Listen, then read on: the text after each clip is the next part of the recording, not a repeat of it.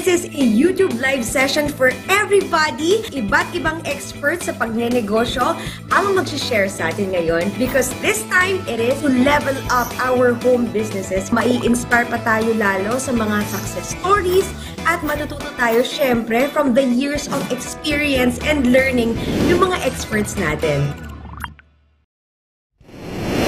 Hello, my Discarte Moms! Welcome to another episode of Meet the Expert. Live tayo ngayon sa YouTube and of course, we are powered by PLDT Homebiz. Today, hindi lang isa mga mommies, kundi dalawang experts sa pagnenegosyo ang magbibigay sa atin ng mga expert tips at advice para tulungan nila tayong palaguin at palaganapin ang ating online home businesses. O, di ba? Talaga namang level up tayo today, mga mommies. But before we start, you know the drill. Don't forget to like, share, and subscribe sa ating Madiskarte Moms PH YouTube channel para mas marami pang mommies tayong matulungan. And again, thank you because we are powered by PLD Home and hit the notification bell para updated din kayo tuwing mag-release tayo ng latest MMPH videos. At syempre, wag naman natin kalimutan din yung mga nakakatawang mommies natin ang aga-aga. Andito si Mom Kay, Mom, uh, si Nabi, hi! Of course, Elaine is here also, and Michelle Maongka, I believe she's a um, uh, mentor, Mrs. Jenny. So, thank you for being us with, uh, thank you for being with us this afternoon. At syempre, napaka-importante ng ating topic for discussion at talaga namang kailangan natin ito, lalo na yung mga nag-home business kagaya ko, di ba? Ito ang digital marketing and advertising online. So, ngayon malalaman natin ano ba yung mga techniques, yung mga pwede nating gawin para mas ma-promote natin yung ating mga own businesses, lalo na, di ba, very competitive na ngayon online. Ang hirap makipagsabayan. So, we really need to know ano ba yung mga tama nating gawin. I'm sure ito yung tinatanong natin everyday kung tuloy-tuloy din yung pagnenegosyo natin. Gusto rin natin, syempre, tuloy-tuloy yung pag-asenso nito, di ba? Kaya naman, makikinig tayo ngayon mga madiskarte moms sa ating mga experts, pero we highly encourage you also to post your comments, your questions, kung meron pa kayong gustong masagot kasi meron tayong dalawang expert, di ba? Napakaswerte natin na makapagbigay sa atin ng expert knowledge and tips.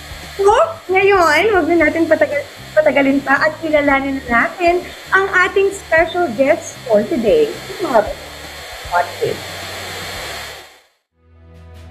For over 30 years, her advertising expertise and experiences help build multinational and local brands, ranging from food, alcohol, pharmaceuticals, personal care, and telecommunications. She has been in the forefront of the advertising industry, being a former president of the Association of Advertising Agencies of the Philippines and as board member of the Ad Standards Council. Since 2015, she has been a PCE Go Negosyo mentor and has been teaching micro entrepreneurs the basics of marketing nationwide a former board member of the Design Advisory Council, the second vice president of Asian Council for Small Business, lecturer at the University of Asia and the Pacific on brand activation and advertising management, and currently the Chief Marketing Officer and CFO of JWin Food Corporation, Tokyo Tempura. PLDT Homebiz Brand Ambassador, Jenny Winicky. George Winicky is a man with a mission. He aims to elevate the lot and life of as many of his countrymen as he is able. This he does through his mentoring advocacy. To his mentees, George is not only a mentor but a friend. He is one of Go Negosyo's angelpreneurs who willingly serves as a consultant for aspiring and starting entrepreneurs all over the country through Go Negosyo and DTI, where he served as senior consultant to the secretary. He created Galia Negosyo, a mentoring program for people who want to start their own business and improve their lives. To the public, he is known as the co-founder of Potato Corner and the business that democratized tempura, Tokyo Tempura. With almost 30 years of experience as an entrepreneur, George certainly has earned his label as the opportunity guru of the Philippines business industry. He led the Association of Filipino Franchisers Incorporated as its president for two years, which he is also a co-founder of. He helped his AFFI members survive through the pandemic and launched a national campaign with Gary Valenciano, dubbed Bayanihan as its conveyor. Author of the book on entrepreneurship titled Bounce, he is an admired practitioner worthy of recognition. An awardee of the prestigious Agora Awards, We Awards for Purposeful Entrepreneurship and a member of the ASEAN Mentorship for Entrepreneurs Network or AMEN, Academe of the Ateneo CCE and the Professional Academy of Culinary Education. George never stops listening, advising, and counseling those in need of his advice. In fact, it has already become his way of life. He is currently a PLDT ambassador. George Winnicke. Wow! Hi, good afternoon. Welcome to Meet the Expert and Madiskarte Mom, Sir George, Miss Jenny. Kumusta kayo ngayong hapon? Hello, Magandang magandang hapon. magandang hapon po sa inyong lahat mga mommies. Happy to be here po. Okay. Thank you for inviting us. Happy to serve you this afternoon. Palitan po tayo ng mga experience at saka learnings. Alam, alam niyo po na mesmerize ako dun sa videos niyo pareho. Mga pang-awards night yung datingan. Pero I think the moms here also are curious to find out. Oh, you've been partners in life for for a while and now partners sa business. Kumusta po ba na Kumusta po ba pag ah, business partner ko ay asawa niyo rin? Oo, ayan ay Masagot muna natin yun. Buti na lang magkalayo kami ngayon no, no hindi kami magbubugbugan. Okay. Sa totoo. So actually hindi po madali nakatrabaho nyo ay inyong partner, asawa, partner in life, ex-boyfriend ko. Ah, ah, kasi po, pareho kaming leader eh. Ah, that was the difficulty. Pareho po kaming leader, so pareho kaming may mga sariling ideas. But ang nagawa po namin, na pag-agrihan namin, ay kanya-kanya kaming teritoryo. So siya po ay more of the business itself, the operations and everything about it. Ako po ay marketing dahil yun naman po ang aking specialty. So siguro po yun ang mapapayo po no kung kayo ay mag-asawa na nagtatrabaho together in your business, kanya-kanyang turf, kanya-kanyang teritoryo po kayo. O, di ba George? Oo naman. Alam mo, Roxanne, kung may kasabihan, ang customer ay always right. Sa negosyo, ang wife is always right. Ayan! Di ba? So, I'm yan. sure all the moms agree here, no? At nakakatuwa rin na talaga namang uh, kasama namin kayo today kasi it's very relatable kasi ngayon na nag-post kasi marami ring nanay na nag-ask ng help sa asawa nila, di ba? Tulungan mo ako sa deliveries or kaalaga ang bata. Oo. Diba? Talaga namang nakaka-introduce mo, nai-introduce yung partner mo. So anyway, before tayo mag-usap sa love life, no? over the years, baka ah, malimutan natin yung topic talaga natin ngayon mga mommies. Paano ko nga pa ipopromote ang aking online home business? Kasi when we promote, talaga namang lagi sa nagagamit na term na natin talaga muna nahihimay. Kasi merong dalawang paraan to do this. Marketing advertising. Work hand in hand. At this time, we have our So, Jenny first, um, just a quick one, ano po ba talaga yung difference ng marketing advertising? Okay. So kasi minsan napapagkamala natin na iisa lang 'yon ano, yung marketing at advertising. Pag sinabi pong marketing 'yon, yun po ay yung proseso na paghahanap natin ng pangangailangan ng ating customer. Ano ba yung kailangan nila? Ano yung needs nila? And we should identify ways kung paano natin mapapasagutan, masusolusyonan yung problema at pangangailangan nila. Okay, that's marketing po. Finding your customers' needs, identifying their needs, and determining how you can solve their problem. Okay, pero hindi po madali yon, di ba? Para ang dami kong sinabi, ang lalaki ng words na yon. Pero ah, kaya po meron siyang proseso eh, di ba? Because may mga components siya, yung tinatawag tawag natin na four P's of marketing. Ito po yung pinaka-basic. Yan po yung product, yung produkto nyo, yung price, yung presyo nyo, yung place kung saan kayo nagbebenta, at yung promotions. Yung promotions po, dyan pumapasok yung advertising. So, kasa kalakip lang po siya ng marketing. Advertising is promoting your products, 'di ba? Uh, communicating kung ano yung benepisyo ninyo sa inyong customer.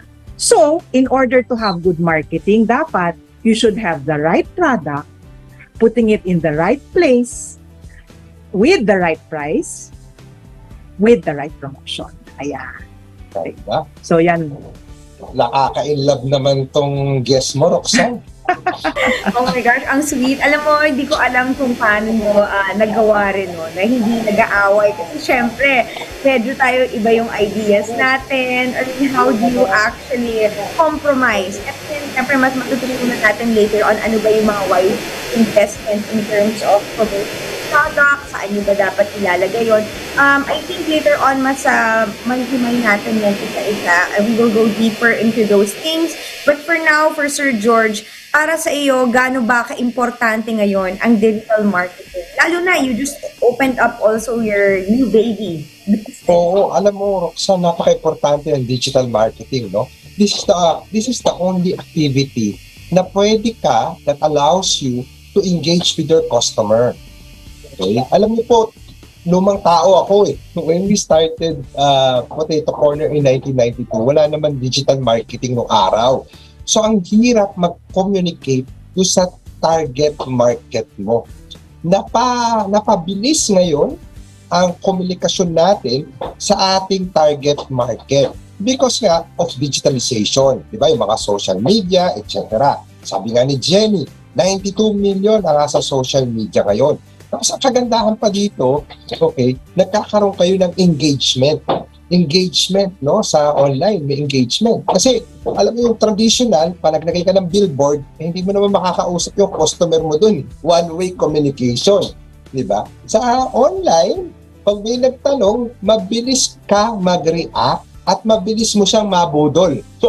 Mabudol or makonvince, di ba? You convince them there is a engagement between the two parties. Yun ang kagandahan dito. And then of course, sabi ko nga, uh, nile-level of yung playing field. Kasi dati, nung uh, wala pang digital marketing, wala pang social media, mahal. Yung mga mayayaman lang at malalaking mga negosyante can afford to put uh, money for that advertising. Diba? Sa TV, sa radyo. Ngayon, pwede na. So, patas na ang labanan. Yan, ang ganda nga ng sinabi ng ating uh, lumang tao. Sir George, first time narinig naman, meron palang bago and lumang tao. Anyway, sabi naman ni Michelle, maong ka power couple talaga. Sir George and si Miss Jenny. Hi, Teacher Michelle. Hi, I miss you. I miss you. okay, so anyway, Thank you, Sir George and Miss Jenny, sa pag-enlighten sa ating mga madiskarte moms. I'm sure ngayon, inaabangan nila yung mga techniques at strategies na pwedeng i-share sa kanila based na rin, of course, from your decades of experience pag negosyo. But first, may mga tips din ng ating celebrity madiskarte mom na si Miss Nadia Montenegro na gustong i-share sa atin ngayon. So, let's all watch this. Paano nga ba effectively magpro-promote ang inyong home business. Tip number one, bawal judgmental. Whether malaki or maliit man ang kanyang order, wag po tayong pipili ng customer. Lahat po kailangan pantay-pantay. Tatandaan nyo po, kahit po isa lang ang order niyan, uulit at uulit yan pag nagustuhan ng inyong produkto. At ikakalat pa sa iba. Kaya, patok. Tip number two, Use social media wisely. Advertise your business as often as you can. Post on social media pages. Post all the feedbacks of your satisfied customers ng inyong online store. And ask your family and friends to spread the word para lalo naman tayong kumalat. Tip number three, a strong internet connection is the key. For all online home businesses, a strong and reliable internet connection is your number one kakampi. I think this is what saved my business, especially during the pandemic. Kasi pare-pareho naman natin di inaasahan yung mangyayari. Make sure you have a good and reliable internet to be able to cater to all your questions and orders and needs of your customers any time of the. And to help you grow your home business through a strong and reliable internet connection. Here's PLDT HomeBiz with only fiber speeds up to 60 Mbps.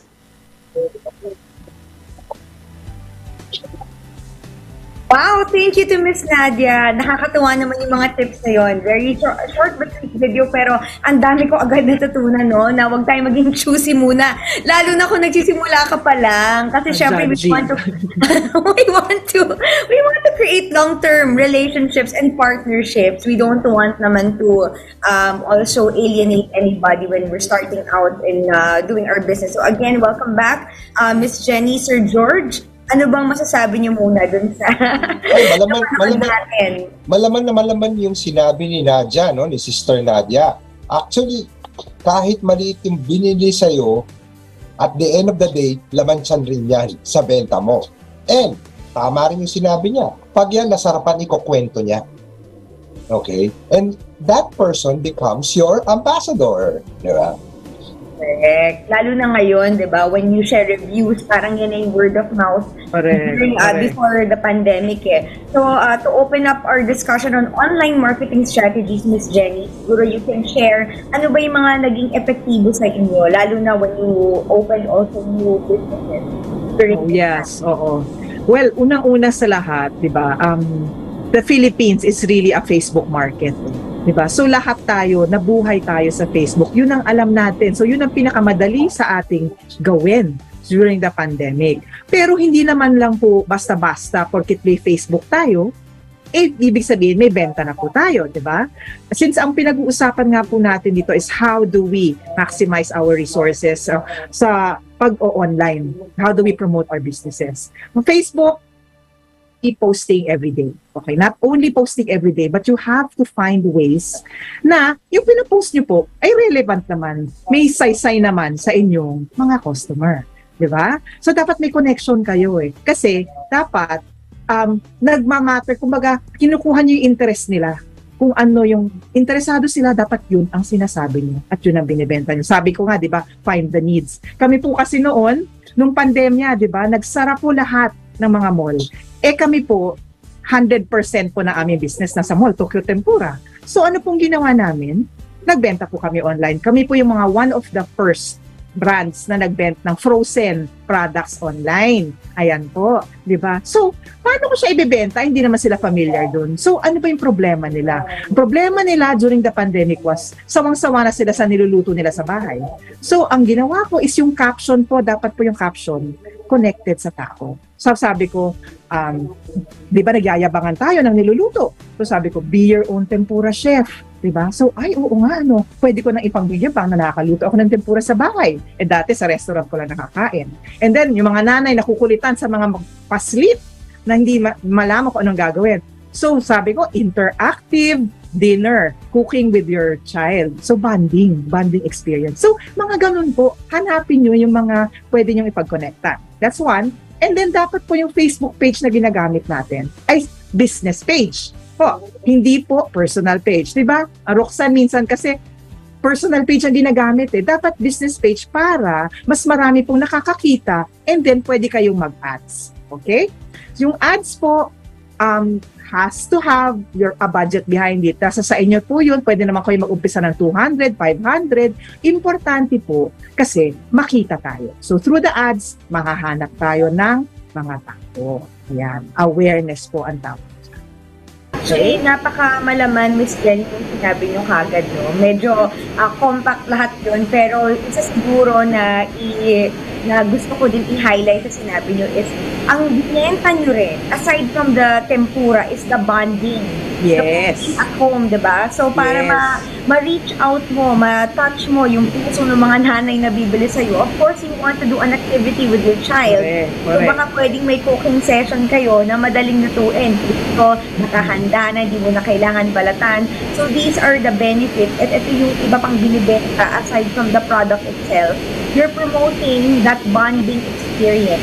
May emotional connection. Yes, di ba? Kayo, Sir George, niluto rin po ba kayo sa bahay? Or all Jenny ito?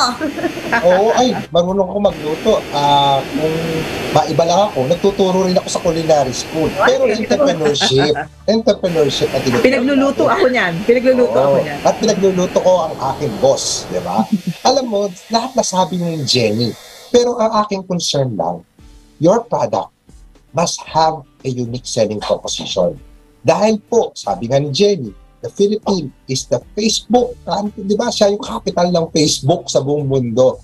80 89 million people are in social media or 92 million people are social media.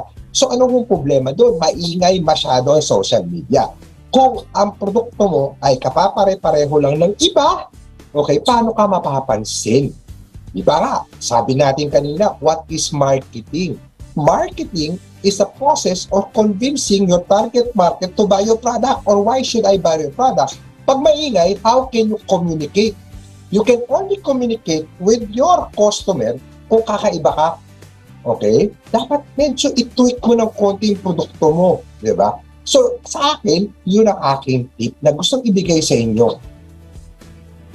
Kasi medyo heavy ngayon yung mga terms, Sir George. Eh. Meron tayong mga search engine optimization, marketing, you know, to discuss these things. Gusto natin i-simplify muna para mas maintindihan talaga natin Correct, yung correct. Na-mention yung nga, it's connecting to the customer at makonvince sila, ligawan sila. Bakit ba ako bibili? Sa dami nang nagbebenta nitong iba't ibang ah, food products, for example, bakit sa'yo ako pupunta? So, merong kailangang value added doon, di ba? For the person to buy. Now, sa mga nanay din natin na andito, I want to remind everyone na lahat kayo kasali sa discussion. So, huwag kayong mahiyang magtanong, huwag kayong mahiyang, ah, kumbaga, eh, you know, this is for everybody. So, kung may comments din kayo, may suggestions din kayo, naku, welcome na welcome kayo dyan. So, di ba? Sir George, Miss Jenny, one more thing that I noticed din ngayon is, uh, syempre, hindi lang sa Facebook mo, ating mga uh, cost, uh, possible customers andyan sa Instagram, sa TikTok. Ano ba yung personal experiences mo dito sa, ba, sa ibang platforms na ito? Meron bang kaibahan pag nag-market ka sa Facebook at sa iba at sa ibang uh, social media? Um, Meron yan. Okay. So, di ba, ang, ang dami-daming social media platforms eh. Pero ako, I would like to concentrate yung efforts niyo into four. Okay? So, apat. So, unang-una na dyan is Facebook. And then, ano po ba ang kakabit ng Facebook? Di ba, Instagram? It- kasi, sabi nga ni George, 92 million Filipinos are online or on social media. 84 million po doon nasa Facebook. So, tingnan nyo yan. So, nasan yung market nyo? Asan yung customer nyo? Nasa Facebook siya. 18.65 million naman doon ay nasa Instagram. So, kung mag-advertise po kayo, mag-post kayo sa Facebook, pwede nyo i-cross-post siya sa Instagram kung tinatamad kayo or kung minsan kasi ang hirap-hirap po pa- para sa atin eh, kasi tayo mismo gumagawa, di ba? So, automatic na po yun. Yung ads nyo lalabas doon. So, that's Facebook, Instagram, Messenger also. There are fire- 55.5 million Filipinos on Messenger. So, dapat po, kung mag-a-ads kayo, ang objective nyo, send message. Bakit po? Para makapture nyo yung tao na yon, may message na kayo, masasagot nyo siya doon, lahat ng questions niya, ma-entertain nyo, at masasarado nyo na yung deal, pwede na kayo magbayaran doon. And last but not the least, of course, is TikTok. TikTok is dati for awareness lang. Okay, ngayon pwede na rin po tayo magbenta sa TikTok. Okay? Ilang milyong Pilipino ang nasa TikTok? 35 million po. Ganyan po karaming Pilipino last year. Ano, Roxanne, last year wala, hindi ganun kalaki. Number 5 lang ang TikTok. Ngayon, na-surpass na niya ang Instagram. Okay? Why? Why TikTok? Because po, 'di ba, ang Pinoy, tayo we we are very visual. Napaka-visual natin na Philip na mga tira, mga tao. And how do you rise above? Sabi nga ni George, ang dami-dami mong distraction, dami nakikita. Paano ka mapapansin? So through videos. Ano bang may short form videos? TikTok, tsaka yung Instagram Reels po. Diyan po tayo napapansin. And to be memorable, you have to be funny, to be scary minsan, di ba? Minsan yung mga videos na dapat nakakatawa, nakakaiyak, minsan nga nakakatakot, but has to be memorable. Diyan po tayo nakakakuha ng mga fans at mga loyalists. Hindi naman lang po basta-basta videos, dapat din show them how your product is used, but in creative ways. Di ba? Di ba, George, no? Okay. Alam mo, may kasabihan nga, those who behave will not land in history. So we have to misbehave in marketing. Tadayo, ah. Oo. So kung hindi nyo ilalabas yung craziness nyo, hindi kayo mapapansin ng inyong produkto. Alam mo, Roxanne, Jen, uh, correct me my wife, no? correct me my ex-girlfriend. Parang napansin ko, there was an evolution of social media. Ito na akin. Okay? Because of the entry and the popularity of TikTok, okay, nagkaroon na parang division ng certain type, ano, market, no? yung classes. No? I think uh, the medyo masa side is now, in my opinion, is the TikTok side. And then, of course, the Facebook is the middle class. And then, of course, yung medyo, yung mga maraming pera, ah, sa Instagram. Ang ganda, ang ganda nangyari na to because you can now strategize your communication strategy on each classes now because of yung nakita ko, na-observe kong evolution of social media in the Philippines. Tama ho ba, Professor Jenny? Yes, yes, actually that's correct, no? Yes. Um, the post, to sa mga platforms po na minention ko, free po na mag-post. Free po kayo na mag-post kasi importante po na naglalagay tayo ng content araw-araw. Kasi kailangan searchable. Yung sinasabi po ni Roxanne kanina, search engine optimization. Kasama po dyan ang pagpo-post natin. Bakit? Google finds us through our posts. Okay? Google finds us through the hashtags, through the keywords na nilalagay natin sa mga posts natin. Okay? Eh yung mga customer natin, di ba, saan ba naghahanap ng mga produkto? Saan naghahanap ng brands? Sa Google. Di ba? So dapat alam natin ang mga keywords na connected sa mga produkto natin at mga brands natin. Kagaya kami po, tempura, di ba? Ang customer ko hindi naman tinatype to to tempura eh. Hinahanap niya tempura. Ang hinahanap niya, tempura recipe actually. Yan ang number one pala, di ba? Kasi gusto nilang malaman kung paano gumawa ng tempura. So nilalagay ko yung mga yan sa post ko, sa hashtag ko, etc. So ganun po, hanapin din natin anong keywords na relatable sa para searchable po. Galing. Actually, Roxanne, isa pa akong ano, na-observe. Alam mo naman, very my curiosity kasi ang lakas. Palagi akong curious on certain things. Napansin ko rin na ang mga tao ngayon, pag umahanap sila ng parang to validate something kung masarap yung produkto mo, hindi na sila sa celebrity masyado nakatingin. Eh. Sa mga ordinaryong tao sila. Because they know already that it is honest and meron siyang authenticity na ordinaryong tao pumasok sa isang restaurant, sinubukan sa produkto at marami sila nagsasabing masarap. So, nagkakaroon ng parang tribe mentality. Professor Jenny, tama ba? Di ba? Nagkakaroon tayo ng tribe mentality sa... Yes, yes. Yan nga yung ano, beauty ng TikTok. Diyan po pumapasok ang TikTok, no? So, ang dami natin mga uh, vloggers na sinusundan. So, meron akong favorite dyan. Actually, dyan kami na, na budol kami ng TikTok. Nag, nagpadala po kami ng mga produkto namin doon sa new baby namin, yung Chicken George. Pinadala namin yung mga influencers, mga vloggers. Hindi po kailangang magbayad sa mga influencers, di ba Roxanne? Hindi po kailangan magbayad sa vloggers. In fact, maghahanap po sila ng mga nire-review nila eh. Naghahanap sila ng content.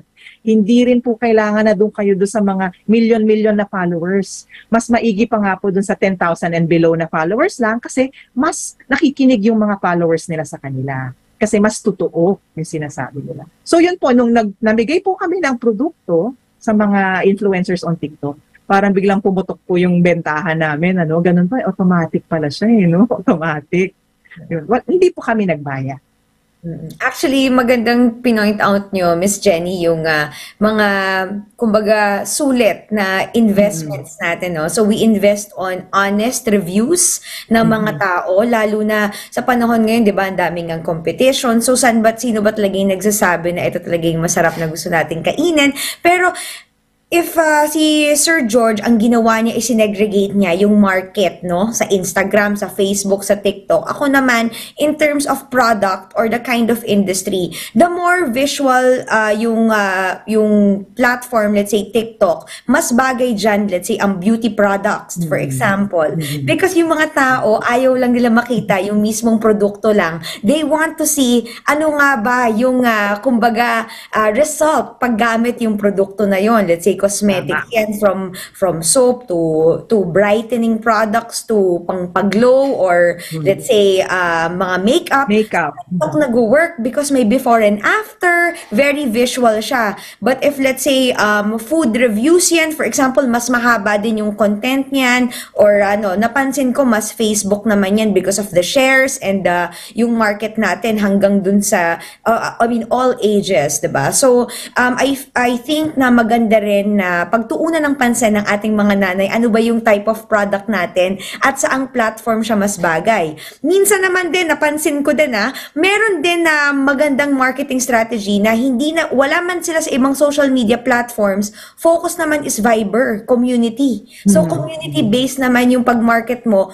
Kung yung produkto mo kukonti lang, niche product 'yan, kagaya ko for example, mga customized uh, uniforms naman sa akin or products or let's say mga branded apparel per school. Hindi naman lahat taga doon sa school na yon. So we have Viber communities kung saan nagtitipon-tipon yung isang uh, kumbaga certain market. So sometimes kaya maganda rin yung points of discussion nyo Sir George Miss Jenny is kung saan ba wise i-invest hindi lang yung pera kundi yung time and efforts mo. Kasi hindi rin mahirap din na to create content every day. To Correct, also correct. Cross-post in all the social Correct, media platforms. correct. So I think at this time, it's wise also to focus kung saang social media platform din. And the best way to do it is to try sa ating Right. mga nanay dito. Right. And, And, um, and di ba it also helps to join groups? Di ba? Oo groups naman. like this. Like this. Diba? mas. Madiskarte mas. Magkakatulong-tulong tayo sa isa't isa. Networking, ika nga, di ba? I'm sure ang dami na dito. Kaya kasali rin ako sa group na to. Madiskarte Yeah. ma'am din ako eh. Ang dami dito na nagkatulungan sila-sila, naging customer, naging supplier, etc. Di ba? That, that helps a lot, joining groups like this. Okay. Actually, So- di lang sa network, pwede nilang i-promote yung mga posting nila, cross-posting sila sa mga kanya-kanyang Facebook page na to. Ilan tayo? Kung more than a million na itong grupo natin dito, imagine. So, lahat yun. So, magkakaroon yan ng parang snowball effect. Yes, Pero if I'm sorry, if I may add lang no. Nakakalimutan kasi natin, bago tayo pumunta lahat sa mga platform, kailangan muna malaman nila ng ating mga mami, sino ba talagang customer nila? Di ba? Kasi doon nagsisimula lahat eh. Sino ba ang customer mo? Sino ba talagang gumagamit ng produkto mo? Sino may kailangan ng produkto mo? At babalik ako doon sa ano nga ba yung kailangan di ba, sa produkto mo? Ano ba yung sinagot mo na pangangailangan? Yan. Kasi with that, if you know who your target market is and your customer is, then malalaman mo anong platform ba ang ginagamit niya. Diba? Yes, so, Facebook ba, Instagram ba, TikTok ba? Kung very corporate naman or business to business, pwedeng LinkedIn eh, di ba? Or, di ba? Or um, Twitter, yung mga ganyan. So, depende talaga dun sa customer niya. Actually, Miss Jenny, in one of your topics, nakinig ako before, sinabi mo din sa mga tao, hindi totoo na lahat customer nyo. Kailangan Oo. i-pinpoint nyo muna sino ba talaga yung target market nyo. And baka ngayon pwede nating i-share para mas ah, maitama natin yung marketing strategy na gagawin natin. Paano mo, paano mo nga ba bubuuhin yung profile ng iyong ah, customer? Baka Sir George, Miss Jenny, meron sa inyong gustong simulan itong Siguro, sagutin. bago ko bigay kay Jen, the common mistake naman kasi dun sa mga taong gustong magnegosyo, minsan may idea sila. You know, you know all, all businesses starts with an idea, a great idea. But the problem is, masyado sila na in love dun sa idea nila. Dapat po kasi, may idea ka, once may idea ka, dapat titignan mo rin kung kanino mo ibibenta yung naisip mong negosyo. Minsan, kaya ako nasabi po na this is a biggest mistake or common mistake, sa excited sila na gawin nilang into reality idea nila, nakakalimutan na nila, tingnan muna kung kanino ibebenta. Ito po yung tinatawag na target market. Okay, these are people that most probably, okay, that will be attracted to your product or relevant yung produkto mo sa kanila. So, dun po nag-uumpisa. So, sa umpisa pa lang, dapat alam mo na kagad, by heart, kung kanino ko ibebenta to. Okay? So, sa marketing naman, maganda rin yung explanation ni Professor Jenny, ang aking uh, ex-wife. Ah, ex-wife. Ex-wife? Tama din pa Oh my gosh! Tama din pa Nagising lahat, nagising. Ex-girlfriend. May nervyos ako doon. So, okay. Hindi. So, um, yung sa target market po, ang common mistake din, sa susundan ko yun, is hindi ikaw yung target market mo. ba? Hindi naman kung ano yung gusto mo, yun yung yung ikaw na agad yung customer. Kasi minsan, iba naman ang pangangailangan ng customer mo. So para malaman mo kung sino yung customer mo, tignan mo um, anong age. Anong age kaya palagay mo ang gumagamit ng iyong produkto? Saan siya nakatira? May asawa ba siya? May anak ba siya? Di ba? Um, nagtatrabaho ba siya? Bakit mo kailangan malaman yun? We need to know that because one, kung may asawa at may anak, syempre, yung income niya, ibang prioridad. Di ba? Versus kung single na 30 years old, ay kanyang-kanyang pera niya, di ba? Pwede siyang bumili ng kahit na anong pampaganda or mga budol ay effect na effect sa kanya. So, you need to determine that demographics, so yung age, gender, location, you know, um, status, etc., etc. And psychographics. Ilang beses ba siya namimili sa isang buwan? Ano bang type niyang binibili? Sabay mahilig sa health and wellness? Mahilig ba siya sa organic? Or matakaw ba siya? Di ba? Mahilig ba siya mag-budget? Kuripot ba siya? Or okay lang bumili ng bumili basta quality? You need to determine sino ba talaga ang customer. Di ba? And then, that's the only way na pwede kang mag-communicate sa kanya at mag-connect. Okay. Actually, uh, Miss Jenny, Sir George, siguro mas maganda din isama na natin sa discussion natin ngayon yung ating mga moms, no? Lalo na yung mga Yes. kayo na pa andito na may mga gustong itanong. Kasi ito si Mommy Casey Enerva from MMPH. Hello sa ating mga madiskarte moms na andito. Ano ba yung side hustle na may, ay sorry, anong side hustle po ba sa tingin nyo yung may pinaka lowest chance na malugi? Kasi ngayon, 'di ba, parang ah, mag, sabi niyo nga Sir George, sa dami ng ideas minsan, 'di ba? Parang eto ba ah, uunahin ko dito. Sa tingin niyo ba um, ano po ba, meron po bang ganun na negosyo na low lang yung risk niyo malugi? Siguro mas tamang itanong ano ba yung mga low capital, hindi high, siguro hindi capital intensive na negosyo ang pwedeng gawin, no? Ano bang may suggestion niyo? Actually, it's a common question na na-encounter ko pag may talk ako. Ano bang safe na negosyo? Ano bang magandang negosyo? Alam niyo po, yung tanong na yon, magbabackfire po sa inyo yun. Kasi ang backfire po nun, ta- ang tanong po, gusto mo ba talagang magnegosyo? Okay? Because it, uh, entrepreneurship starts with a strong entrepreneurial mindset. Entrepreneurial mindset, ang meaning po niya, is yung mental state ng tao gusto kong maging successful, gusto kong masenso sa buhay, ayoko na itong buhay ko na to. So ako'y magninegosyo. Kahit anong negosyo na pasukin mo, basta malakas ang pu- buo ang puso mo, it will succeed. In 1992 po, hindi ko po alam na ang flavored french fries ay makiklik. Hindi ko alam. Pero the desire, the desire to change my life was there. It was very, very strong that I want a change of my life. So, nilagay ko ang, bu- ang buong puso ko doon. You know, it was not walk in the park. There was so many challenges. Sabi ko nga, Roxanne, okay, the first challenge or the first victory of an entrepreneur is making your product, in, your idea into reality. Okay? The next challenge, ito yung pag-akyat talaga ng bundok, is making your product accept uh, making the pro- your product accepted by the target market. Okay, ito na yung papasok na yung frustration, yung marketing Jenny, papasok dyan. Kung yung produkto mo, gustong gusto nga talaga ng merkado, pero hindi naman buo ang puso mo. how will you be a successful entrepreneur? So again, it all starts with you. Ang tanong, gusto ko ba talaga magnegosyo? Kasi entrepreneurship is not a magic pill, okay, or a lotto ticket. It is a career. A career, you work hard for it to attain your goal. So yun po yun.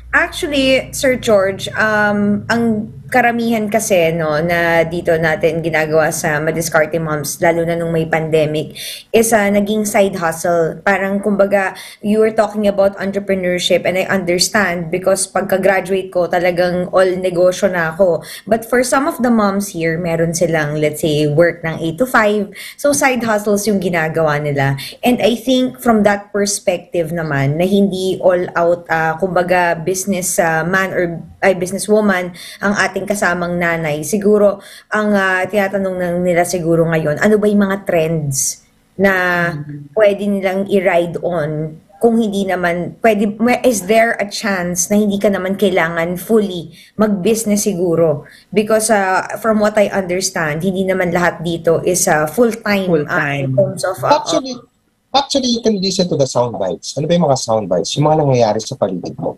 Di ba? Uh, nag-uumpisa na ang mall, nagbubukasan na ang mall, di ba? Those are those are information, okay, na importanteng malaman mo. Uh, ma- ma- ma- uh, mahal ang gasolina. So, so those negative, positive information, you can come up now with an idea. O sige, since nagpapasok na sila doon, hindi na ako magko-concentrate dito kasi wala na mga tao sa bahay.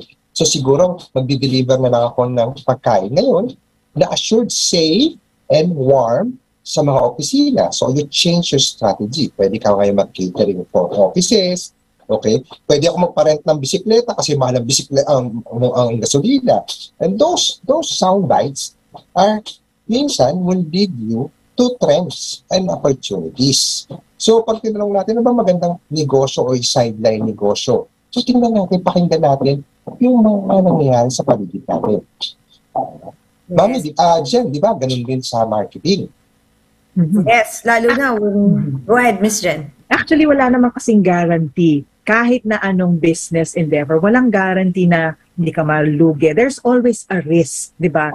That's why ang importante is, tignan mo nga, ano ba yung kinakailangan ngayon? Ano yung yung pwede mong ibenta na talagang kailangan nila. Actually, um, to think, if you think about it, sa food, parang lahat naman ng tao bumibili ng food kahit papano. So it's up to you, gawin mo lang different eh, yung pagkain. Actually, in anything, kahit damit pa yan, di ba? Kahit makeup pa yan, any product, pag dinifferentiate mo, meron kakaiba, pag sumika, I mean, pag naging word of mouth, disisika tayo. Di ba? So, pero we cannot guarantee. Sorry naman po, hindi po kasi namin ma-pinpoint talaga. There is no category or item na pwede natin sabihin, foolproof po na kikita talaga.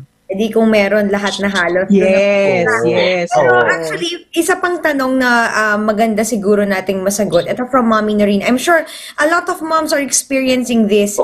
Um, nagpo-promote naman ako ng online sa Facebook. Pero bakit kaya wala pa rin gaanong umorder sa akin? I don't know, Miss Jenny, if you can discuss din dito kung kailangan na ba natin mag-invest in terms yes. of um, paid yun, ads. No? Go oh, ahead. Yun nga ang question ko, Mommy Noreen. Paano ka mag-promote? 'Di ba? Kasi pag promote, does that mean na binuboost mo lang yung post mo?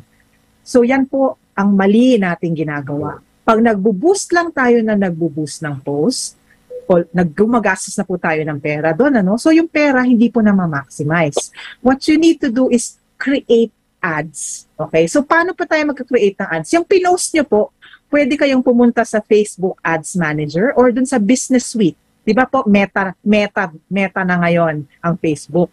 Um, pupunta po kayo doon and Facebook will help you create your ads. Kayo, you can use that post as an ad. Ang only difference po is mafi-filter nyo kung kanino siya pupunta. Yung ad nyo. You can filter the location.